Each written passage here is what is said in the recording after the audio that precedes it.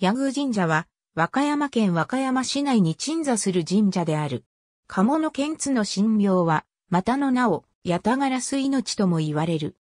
神武天皇が統制の途中、紀の国熊野に至りさらに、大和国に向かおうとした際、紀伊山地の堅峻な山々に阻まれて身体極まった時、八田ガラス命は、天照大臣、高木大臣の神直を報じて長谷三寺、さらに、大ガラスの化身となって飛翔し、神武天皇に進むべき道を示したという。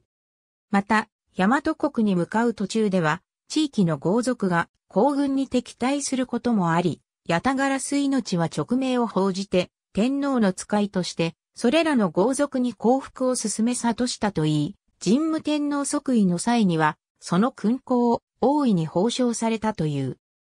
八宮神社は、天正5年に発生した織田信長による西風目の陛下により、社殿や古文書等を消失してしまったため、それ以前の由緒は不詳であるが、九伝によると、第33代、水古天皇の知性に、鴨の剣津の神廟の光栄と伝えられ、現在も神職を務める矢田部氏の上祖が、鴨の剣津の神廟が、神武天皇統制の途中に陣を構え、俗称長里部を打ったという地を選び定めて、採取を始めたのが、創建の由緒である。以来、最下層の産砂神として、数形を集め、シャチも五条三段六世十二歩を有したという。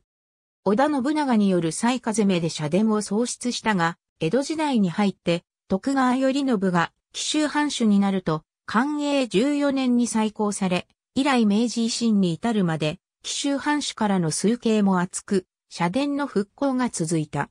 江戸末期には、新札の年間頒布数は4万体を数えたといい、例祭においては、やぶさめ、みこしのお渡し、奉納競馬なども催されていたらしい。天保10年頃のヤグ神社氏子地域略図。ありがとうございます。